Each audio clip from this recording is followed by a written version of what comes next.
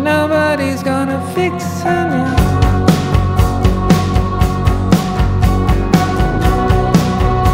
But it's a world full of trouble.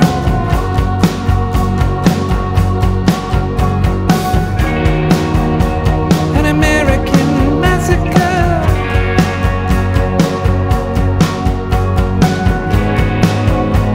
In Southern California.